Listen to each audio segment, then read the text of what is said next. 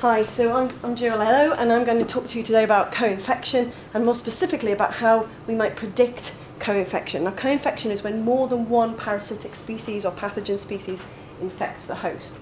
And I'm going to use those two terms interchangeably for, because for me parasites and pathogens are the same thing. They're just any kind of organism that can infect the host and cause damage to that host. And those relationships can be both positive, like our, our um, parasite friends down here, or they can be negative relationships depending on what the parasites are doing within the host. So why co-infection is important is because it's absolutely everywhere. So in the Western world, we tend to think, oh, I've got cold, or I've caught this infection or that infection. And we treat, in fact, medically and in a veterinary context, we tend to treat all organisms as if they are singly infecting a host. That just isn't the, the truth. So the majority of organisms on Earth are co-infected, and that includes humans, particularly in the developing world. So our innocent little mouse here, for example, may be infected with hantavirus. Now this is a zoonotic pathogen that's important to humans, so we might be interested in this one parasite.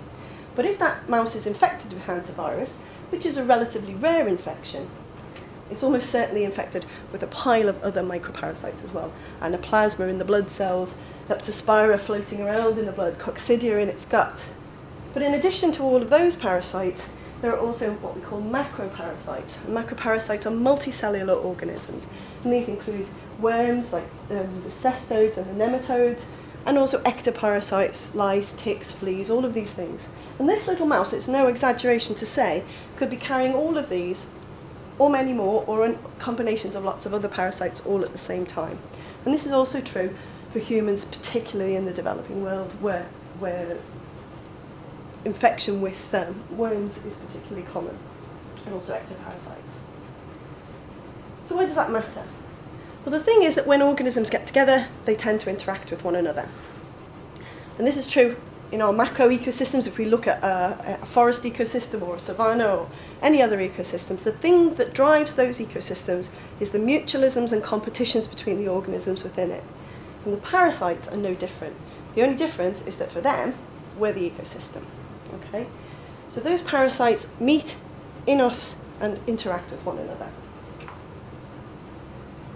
And that matters because those interactions can alter important things to us. So they can alter the severity and the duration of a disease.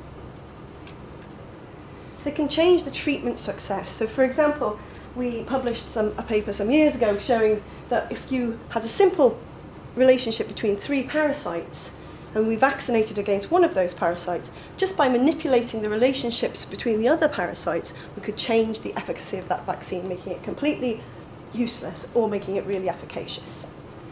Not by changing the vaccine in any way, but only because we change the relationships between the parasites in the system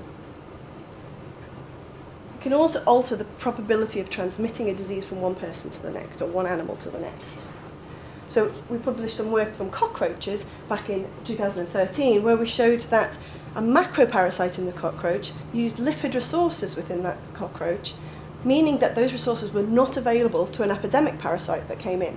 Consequently, only half of the transmission stages, the stages that go on to the next host, were came out of those cockroaches with a co-infection with the macroparasite. And the reverse can happen as well. We could have facilitation of epidemic diseases. And so given that the majority of organisms are infected with macroparasites, these kinds of effects on epidemics and, and so forth can be very, very important. So the problem is big. Most things are co-infected, and those co-infections, the interactions between parasites can vastly alter what's going on in that infection. But the problem is there are millions of parasites. If we think about all of the organisms on Earth, almost everything is parasitized, even the fungi are parasitized. And so there are countless pathogens. In fact, there are three new pathogens identified in humans alone every two years. And the majority of the wildlife parasites are virtually unstudied. So not only have we got all of these parasites, but they can all mix in combinations, in lots of complex combinations. And so actually what we know about interactions is the very tip of the tip of this iceberg. What we don't know about them, whether and how parasites are interacting, is pretty much unknown. It's that whole base of the iceberg there. So what do we do about that? So we have a big issue because it, we are increasingly understanding that co-infection can't just be ignored, as we've done for many, many years in, in uh, veterinary and clinical settings. We have to start understanding what's going on, but how do we go about doing that? So trying to puzzle out how these interactions occur, the first question that is, well, how do they interact? What, what causes parasites to interact? The first one we've just discussed on the previous slide is resource competition. One parasite may either free up a resource in a host for the other parasite, or it may take that resource away from the other parasite. An unusual one is that the, they can change the demography of host populations. So macroparasites can alter um, the fecundity and survivorship of host populations, changing that whole demography of the host. There's a particular thing that we see with macroparasites which don't, don't normally see with microparasites. And those microparasites are the ones that tend to cause epidemic infections. So a host population that's full of macroparasites is going to be a very different environment to a host population that isn't full of macroparasites for that emerging epidemic. And finally, and the one that I'm going to focus on today, is host immune interactions.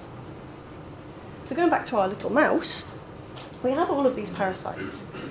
Every single one of those parasites will cause some reaction within the host, cause some change.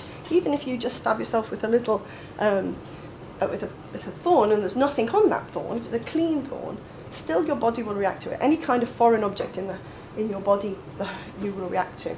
But we don't react to everything in the same way. And there are lots of different branches and arms of the host immune response. But to give you an example, there are subsets of cells called T cells in the body which uh, produce different immune responses, are, are responsible for different parts of the immune response. The T helper 1 cells, or Th1 cells, they promote responses that are generally, generally attacking microparasitic infections. The Th2 cells, T helper 2 cells, are generally attacking macroparasitic infections. So why does that matter? It matters because those interrelating parts of the immune system co-regulate one another. So for example, with the Th1 and Th2 response, if we promote a strong Th1 response, we, we push down the Th2 response and vice versa. So automatically we have a mechanism by which these parasites can interact. If, if the immune response that attacks Th2 is pushed down, obviously you've got more chance of catching or continuing with a, with a macroparasitic infection. And of course there are far more subtleties to that than that to the, to the story. That's a broad scale approach. Great, so we've got this mechanism, some pathway, we know an awful lot about how the immune system cells interact with one another and the components of the immune system interact. What we don't know is often, for most parasites, how parasites interact with the host immunity. All right, so we know we have this underlying mechanism, but it's hard to access that mechanism. However, hope is not lost because immune responses are not a random process, okay?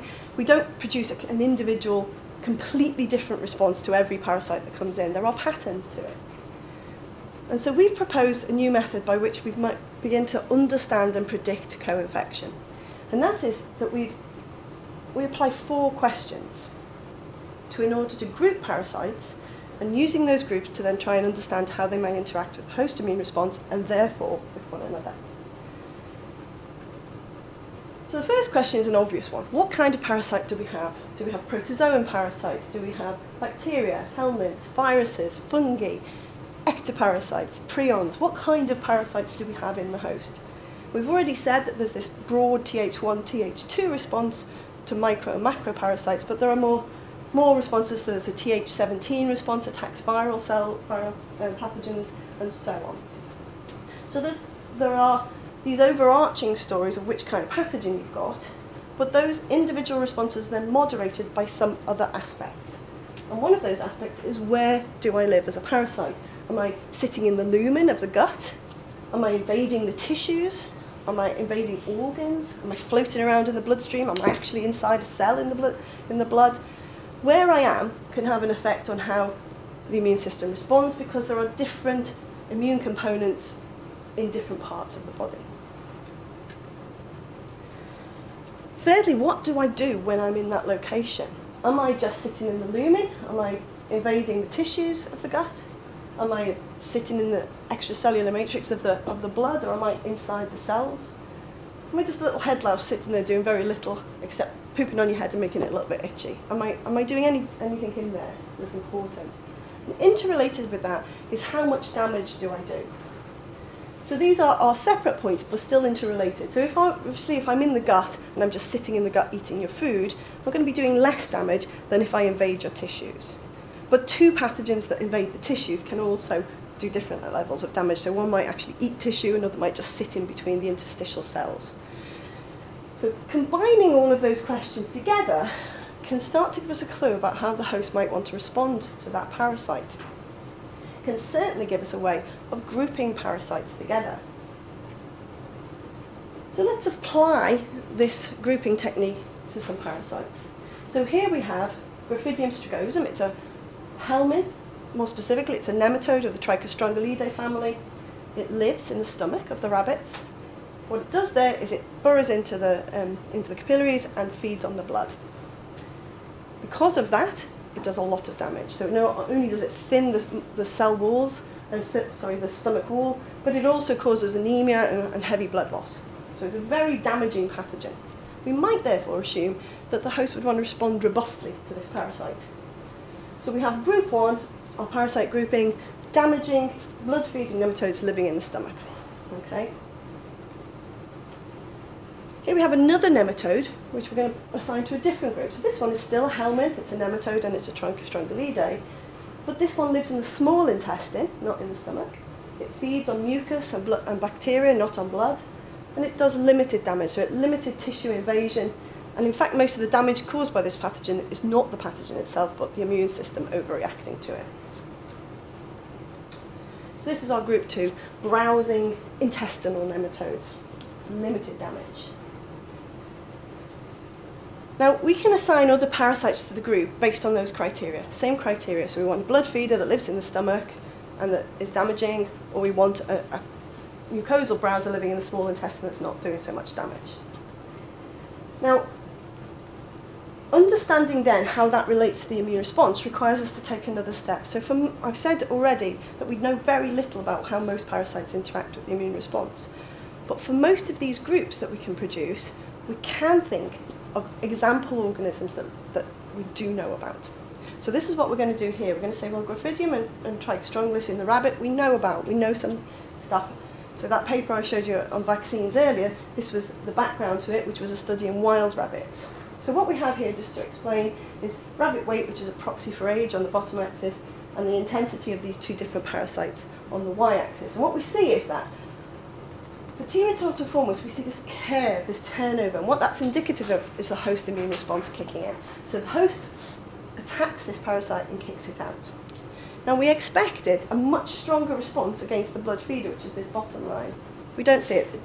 It's not about the, the difference in heights of the peaks here, because that, that's just different numbers of parasites. The Graphidium are much bigger, chunkier blood-feeding worms, but there's less of them. But what we see is that that curve doesn't turn over. So for the lifetime of the rabbit, the infection just keeps increasing. So why might that be? Why is the host that's being really severely damaged by this parasite not apparently responding to it? To understand that, we have to go to the parasite numbers within the host. So this was uh, there were five different common parasites of the rabbit gut, and we looked at the interactions between all of them. Just focus on the ones in the red ring here, those two that we're looking at, Graphidium and. What we see is that when Graphidium, the blood-feeding worm, is there, we increase the number of the intestinal browsing worm. But when the intestinal browsing worm is there, we decrease the number of the blood-feeding worm. So putting that together with what we just saw in the age intensity curves, what we propose here is that the Graphidium, the blood-feeding worm, should be being attacked by the immune system and doesn't appear to be. What we propose is that, that it is suppressing the immune system of the host. That is explaining this relationship. So Graphidium suppresses immunity, which allows the Trichostrongylus to increase. Eventually, we've already seen Trichostrongylus is a, a strong immunostimulator. Eventually, although suppressed in co-infection, Trichostrongylus has its effect and negatively affects that Graphidium. So the immune system wakes up to the fact that Graphidium is there. If we're right about this, and if we're right about the groupings, what we should now be able to do is go to a new species, a new host and say, do we see the same pattern? So that's exactly what we did. we said, okay, we've got Graphidium and Trichostrongylus. The first one suppresses the immune system against the second, so the blood-feeding damaging worm suppresses intestinal immunity, having a positive effect on the browser. The browser promotes intestinal immunity and has a negative effect on the blood feeder. So next we said, right, to take two separate parasites. We took Haemonchus contortus, and this is a blood-feeding worm in the stomach, or the abomasum of the sheep. And we took another sheep parasite, Trichostrongylus colubriformis, which like the trikes in the rabbits, is a mucus and bacteria feeder living in the small intestine. And we made some predictions. We said, okay, the first prediction is that in co-infection, T. colubriformis will, numbers will go up and Haemonchus numbers will go down and that that interaction will be immune-based, just as we described. So we did this experiment in infecting sheep. This was in, in Australia some years back. And this is the uh, results of the parasite numbers of the Trichostrongylus, so that small intestinal worm, the browser. And what we see, the blue line, is the classic turnover that we see in an immune reaction. Okay, so the, the worms come in, we stop dosing at about day 70. Okay, and the adult worms start then to be kicked out of the host. The red line is the mixed infection. In this case, we see no reduction in the, in the worm counts. So once the, we've reached our maximum worm numbers, we stay at a plateau. Absolutely no evidence that the immune system is being effective against the adult worms in this particular system. And agreeing with our hypothesis, so there are more worms in the Trichostrongylus mixed infection than there are in the single infection. And indeed, we also see that that is an immune-based interaction. So in the small intestine, so where the Trichostrongylus lives, the immune response is suppressed in all cell types. I'm just showing you a few here, but all of the cell types that we measured are suppressed when there is a co-infection. Okay, so the mechanism is there. The story for the Haemonchus is a little less exciting in that we do see the pattern that we expected, but it's not as strong. So the Haemonchus we see that the adult worms are actually not affected in this group, at least not in the duration of the experiment. But Haemonchus also has a, a larval stage where it burrows in and go, basically goes to sleep in the tissues of the host where the host can't see it and comes back out when the other adults die. What we see is that those larval numbers are, are reduced in co-infection and that we, what we see is that that is an immune-based interaction again. So the black circles and the white open circles are the control and Haemonchus only groups, so there's no difference between those two groups. But in the group that's mixed infection, the anti-Haemonchus larval response is, is substantially raised. Okay, so we see a mechanism of that interaction which agrees with our hypothesis. So we are now working towards this predictive framework, and we believe we've found a good method of looking at predictive framework which will allow us to understand how parasites interact even when we don't know anything about the interaction priorly. So we have shown that prediction is, using our proposed framework, is possible. But the caveat is that we've only tested this once in one, one host species. But in contradiction to our caveat, we have looked in completely different host species. There's no relationship between rabbits and, and sheep. They're not closely related taxonomically. They don't have similar physiologies. There's no prior evidence from this system that the sheep parasites were going to interact. So even though these are economically important parasites that have been studied for years and years and years independently, no one's ever asked do they interact. And what we've shown is that can actually have quite substantial effects on the dynamics of those infections. So this paper is going to be coming out shortly. 14th of March is our release date in uh, Proceedings of the Royal, Academy, uh, of the Royal Society, sorry, Series B, which I'm really excited about because it's been a long-standing piece of work. So importantly though, just to finish off, I just want to thank my co-authors and funding bodies. The key thing to, to note is that we now have a step forward in being able to predict all of those confusing interactions that potentially we can see in nature. So we have a way forward to potentially looking to clinical and veterinary mechanisms for treating co-infections together. Thank you.